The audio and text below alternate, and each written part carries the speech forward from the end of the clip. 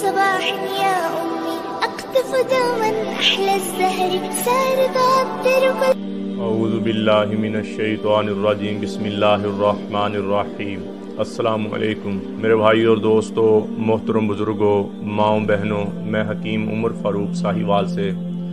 آج میں آپ کو ہینگ کے بارے میں بتاؤں گا، ہینگ۔ جس کو ہندی میں اور اردو میں تو ہینگ ہی کہتے ہیں اور انگلش میں اس کو کہتے ہیں فیرولا۔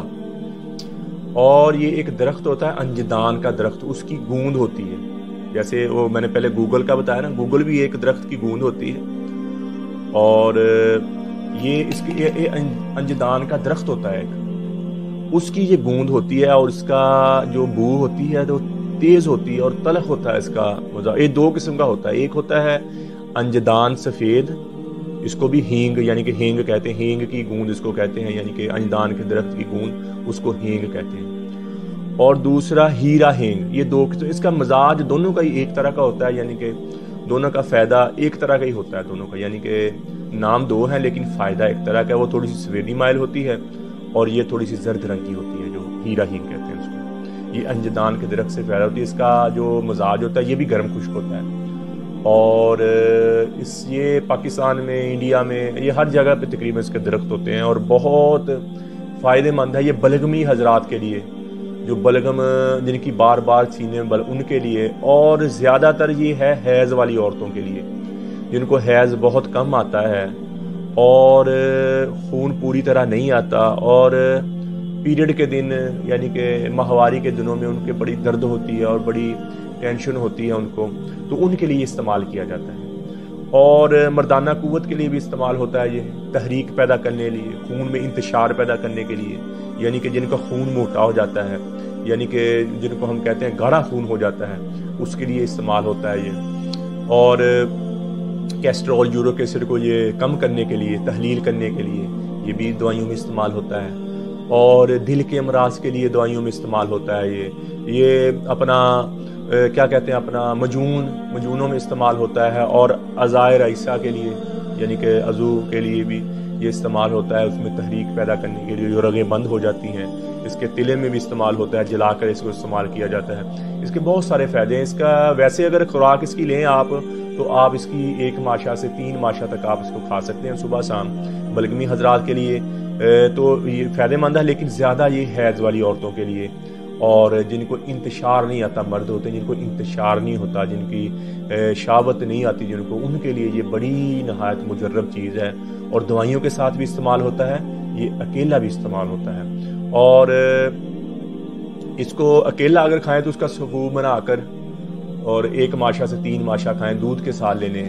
اور اگر نیم گرم پانی کے ساتھ بلگمی حضرات لیں گے تو اس سے زیادہ پیدا ہو تو میرے بھائی اور دوستوں کسی جڑی بوٹی کے بارے میں آپ نے پوچھنا ہو، کسی دوائی کے بارے میں آپ نے پوچھنا ہو، تو میرا کال اور واٹس اپ نمبر اوپر آ رہا ہے۔ اور، قبض کی دوائی، ہیپاٹائٹس اے بی سی اور گردے کی درد کی دوائی اور خارش کی دوائی، یہ ہم فیصدی لیتے ہیں پوری پاکستان، پوری دنیا میں فری ہم بھیجتے ہیں۔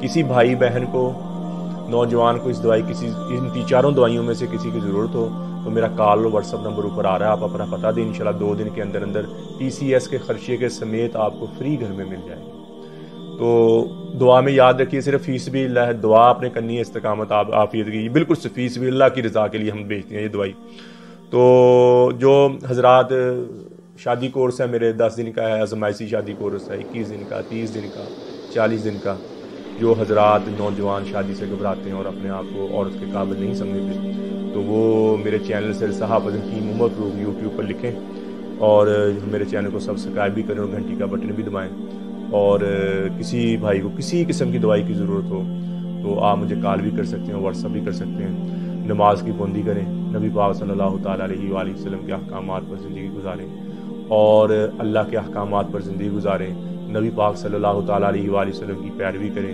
ہر ہر سنت کو اپنانے کی کوشش کریں تاکہ ہم دنیا میں بھی کامیاب ہو جائیں اور ہم آخرت میں بھی کامیاب ہو جائیں۔ یہ دنیا کی زندگی تو عارضی ہے، ختم ہو جانے والی ہے، ختم ہو جائے گی۔ تو اللہ کو جس نے راضی کر لیا، اللہ رسول کی زندگی اپنائی اور اللہ کو راضی کیا۔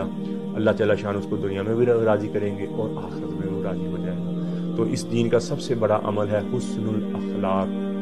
بہترین مسلمان وہ ہے جس کے اخلاق اچھے ہیں۔ تو تو اپنے اخلاق اچھے رکھیں۔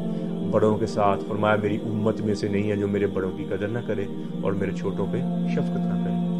تو اپنے مزاج میں نرمی اختیار کرے، محبت محبت دانش مندی اور ہر موقع کے لحاظ سے اور خاموش رہنا سیکھیں اور بات کو سوچ کے کرنا سیکھیں، پھر اس میں آپ کی عزت بھی رہے گی اور آپ کے اللہ بھی راضی ہوگا۔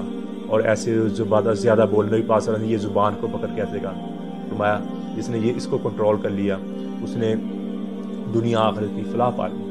ہاں جی اس نے زبان کو کنٹرول کر لیا۔ تو میرے بھائی اور دوست فضول بولنے سے، فضول کسی کی چگلی، غیبت کرنے سے اپنی زبان کو، اپنے دل کو صاف رکھیں۔ تو انشاءاللہ آپ دین کا تھوڑا سا بھی عمل کریں گے، اس کا بہت زیادہ فائدہ ہوگا۔ اللہ جل شاہ مجھے بھی، آپ کو بھی عمل کی توفیق عطا فرمائے۔ وہ مالینا البلاغ السلام علیکم۔